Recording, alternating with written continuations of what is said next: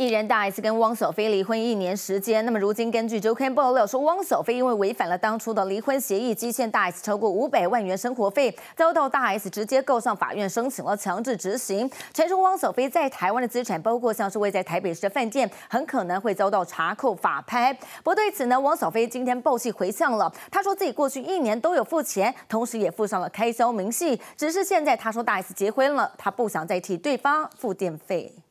我曾经毁了我一切，只想永远的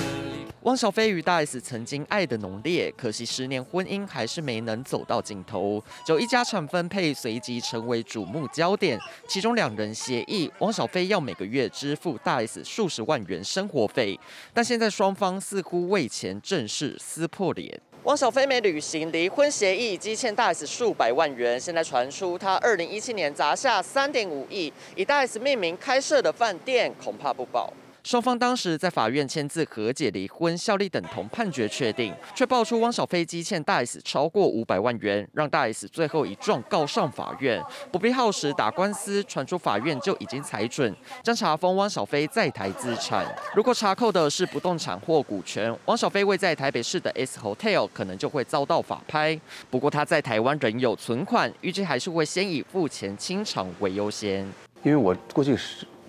六年吧。做了很多投资啊，什么房地产啊、酒店啊，都做过，就是没从中没有得到什么获得感。王小飞先前就在节目谈到，自己生意经营似乎不像外界想象光鲜亮丽，但付不出钱恐怕不是主因，传出关键原因和大 S 再婚有关系。不管是对我还是对大家，从来没有看过他发脾气。제가도포용력이있으니까 似乎是今年三月，大 S 与具俊晔再婚后，汪小菲就不再支付大 S 相关费用。对此，汪小菲暴怒发文痛批抹黑，强调自己有过去一年汇款记录，喊话为何要逼我。只不过大 S 假使已经向法院申请强制执行，将让汪小菲在台资产深陷查封危机。截稿前致电询问大 S 经纪人，尚未得到回应，究竟有没有拿到钱还有待厘清。可以确定的是，大汪链宣告画下句点离婚争议依旧未完待续。这综合报道。